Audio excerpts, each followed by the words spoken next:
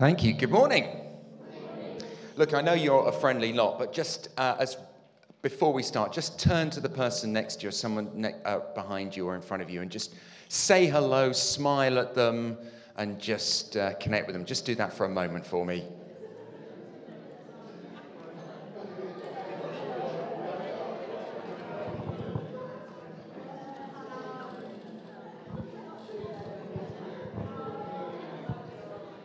Brilliant.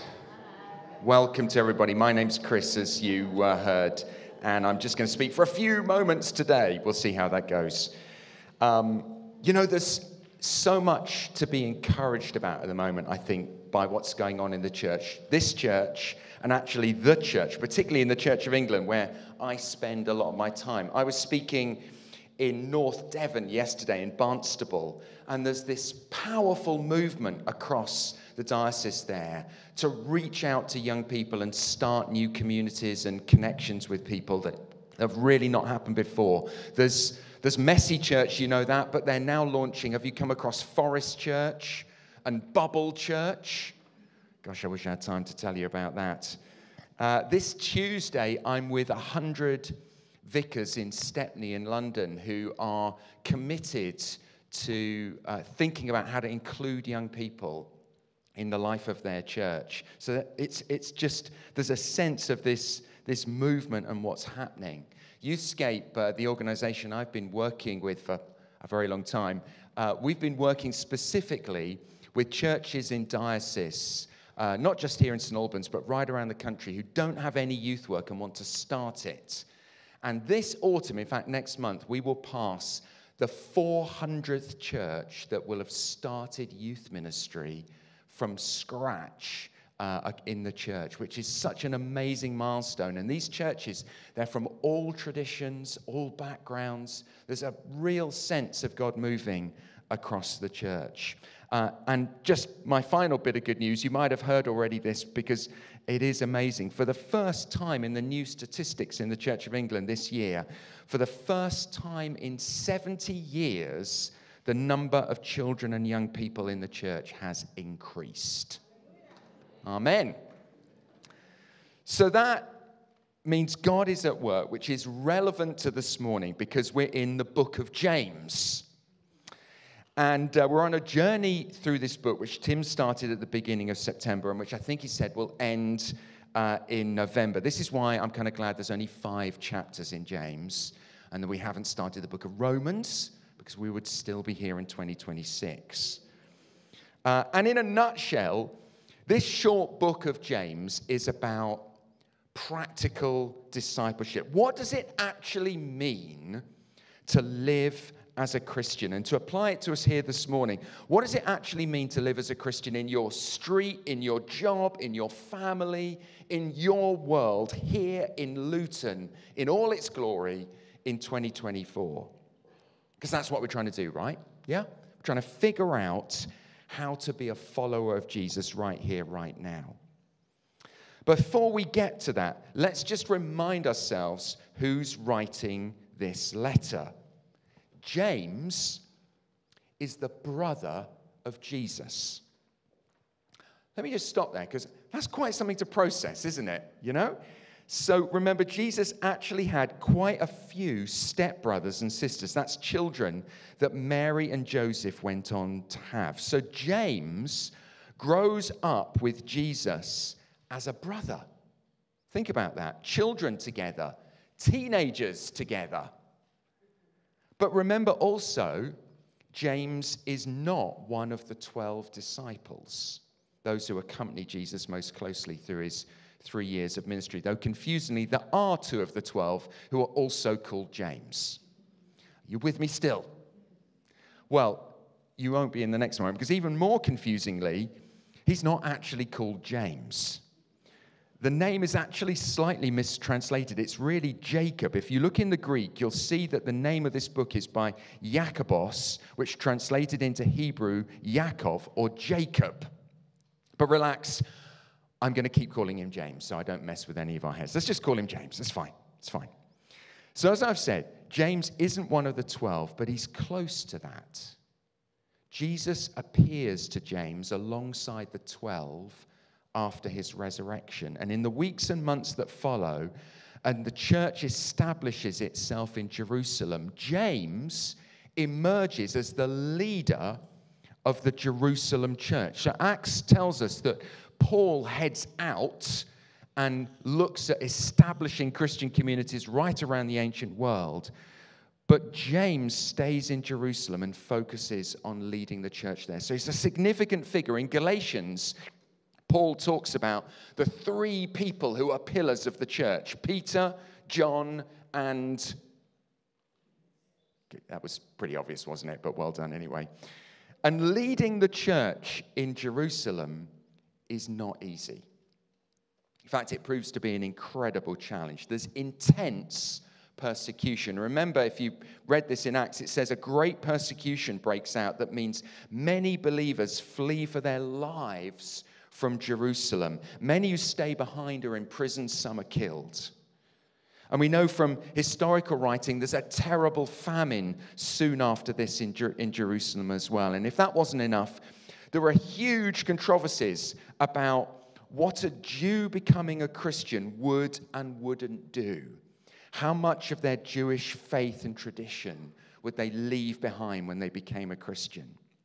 So, Peter, uh, so, so sorry, James is leading the church in Jerusalem through tough times. And then he writes this letter, not to the Jewish Christians in Jerusalem, because he's seeing them every day. He writes this letter to Jewish Christians outside Jerusalem, spread around the Roman Empire. Remember, he starts the letter with the rather poetic, to the 12 tribes scattered across the nations. So he's particularly addressing Jews around the ancient world who've become Christians. So let's just talk about the book itself. I thought it'd be helpful to do some of this before we land in. Relax, I'm absolutely going to be under two hours today. That was a joke, and you laughed very nervously. So let's talk about the book itself. So it's kind of a summary of the key teachings that James thinks are important about living as a Christian. He doesn't develop one idea in a linear way. In fact, there's 12 key discipleship lessons in the book, and each of them sort of stands alone and concludes with a catchy one-liner but they're all connected through key repeated words and themes. It's actually quite a modern way of writing. He's trying to sort of catch people's attention, especially his use of one liners. I think if he was writing today, he would probably be publishing through Instagram stories uh, rather, than, rather than a book. The other thing you can see is how much James has been influenced by two bodies of teaching. The Sermon on the Mount has clearly had a huge impact on him, and it weaves its way through a lot of what he says. And the book of Proverbs, too, which is why I think he loves these little short quips and one liners, like today's reading faith without actions is dead. Uh, and then later, the prayer of a righteous person is powerful and effective, and resist the devil and he will flee from you. These are really catchy one liners, kind of proverb style. You could basically create a series of t shirts, I've decided, based on James. He's really good at this, and it's memorable, which is, uh, which is why I think he's doing it. And there are themes that James comes back to again and again that help us think about genuine faith. We've already covered some of them, and they're rich and they're deep. He talks about favoritism, about how we tend to show love to people we like or people like us. He talks about how we speak and the use of our tongue, a theme he returns to several times. And he talks about words and actions, which is what we're looking at this morning. Honestly, I am getting there. And of course, he also talks about how facing suffering or difficulties is often the way that we develop a deeper Christian faith. So let's talk about the verses we're looking at this morning. And I'm just going to focus actually particularly on the first two verses in the in the short time we have. They sort of sum up the point that he makes in other parts of the book. But this is one of those cool moments when he pulls it together in a really memorable way. Those first two verses, he says, What good is it, my brothers and sisters, if someone claims to have faith but has no deeds? Can such faith save him? Suppose a brother or sister is without clothes and daily food. If one of you says to them, Go in peace, keep warm and well fed, but does nothing about their physical needs, what good is it? In the same way, faith by action, by itself, if it is not accompanied by action, is dead. He's good at these one liners, it's dramatic. James isn't saying, just to be clear, that you become a Christian through your actions. He's not contradicting Paul when he says that we're saved by faith, but he says that your actions are a really good indication of whether you've found faith and are living it out. He's saying if there are no actions to accompany your pronounced faith, then maybe your faith isn't real. And he gives one example of an action. I think it's really interesting to see what he chooses. I mean, what one action would you choose if you were writing this book to show that your faith is real? You pray all the time. You're at church all the time. You don't swear. You're a good worker. You treat your kids nicely. I don't know. What would you choose? James, James chooses something different as an example, and I don't think it's an accident. He talks about serving the poor. So often in Scripture, it talks about how we treat the poor, and this is no exception. God's focus again and again seems to be on the poor, the powerless, the voiceless, those whose dignity has been denied, the easily despised, the readily left out, the demonized, the disposable. And this is what James picks up on. In fact, he conjures up a picture of someone in need, someone really in need, your brother and sister. But remember that Jesus says everyone are your brothers and sisters. But the Christian just prays for them. That's what they say, right? Go in peace, keep warm and well fed. That's a prayer. They pray for them, but they do nothing for them. And James says, if that's how you live, your faith is dead. Think about how many times we pray together in services on our own, whatever, for the poor, for those in need, and I and we do nothing else. We don't actually do anything about their physical needs. I know that's actually often how I've lived. And James doesn't mince his words. He says that if you do that in prayers every Sunday or whenever, but the church doesn't do anything about it, your faith is dead. That's why this is such a powerful image this morning. These gifts that will go to the food bank. And I suspect James would be thrilled at that, but he'd probably also remind us that once a year is not enough, right? Suddenly, this feels very close at home. Remember the parable Jesus tells about the rich man and Lazarus. I don't know whether you know this, um, it's a complicated parable because it's a story of a rich man who parties to excess while this beggar is at his gate, day after day. And after death, the rich man is in some kind of purgatory. I told you this was a theologically complicated parable. And he can see the beggar receiving relief from God, but it's too late. I asked a group of Christians just recently who they thought they, as Christians, were in the parable. And they sort of said they were slightly uncertain. They said, Are we, are we the beggar? No, sadly not.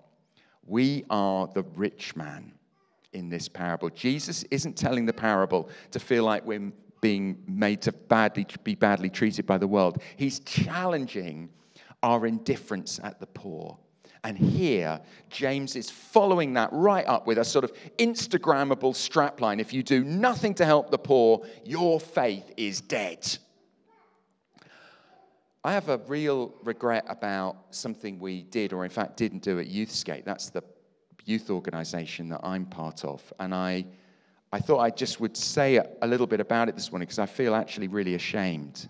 Over the last four or five years in Luton, there have been a huge influx of refugees, and they've been crammed into the very worst conditions in hotels, unable to work, children having to go to school and learn a new language at the same time. And we've been really conscious of young people in particular who've come through the most traumatic journeys and are traumatized and broken. And we've been praying for them and talking about them as a trust and meaning to do more for them. But the truth is, in all the busyness of our existing projects and all the work we do in schools, we've never actually got further than praying for them. And I know that's wrong. Not that we didn't, shouldn't pray for them, but that we stopped at that point. And I know we can't use that excuse going forward. What James is telling us is that faith isn't real because we're nice or avid Bible readers or listen to lots of worship music on YouTube or even spend hours in prayer. Faith is real because we as a church get our hands dirty in the world around us. And James does not mince his words. He doesn't say faith without works is less good or not as useful. He says it's dead. Ah! So these two verses are really memorable. Mission achieved, James. But they're also piercing. They have relevance to my life and yours. Remember James's warning earlier in this book, which Tim took us through a couple of weeks ago. Christians can't show favoritism in who they help. We don't just look after the people who look like us or sound like us. We serve wherever this God of ours leads us. And that is why we have something that we, that is why we have to do this together as a church, because it's difficult.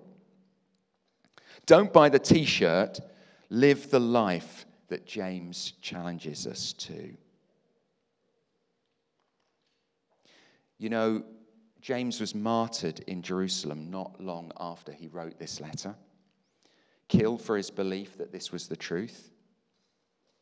I'm so glad he left us this letter, as challenging as it is to read. So here we are, and it's 2024, and we're working out how to be followers of Jesus here in Luton. But these words of James and this challenge feels as real and relevant as ever. And I know James would be challenging us as we read it together. Don't just study this stuff in a sermon series. Don't just discuss it in small groups. He'd borrow a, another famous phrase from a well known brand of sports shoes. He'd say, just do it. Amen.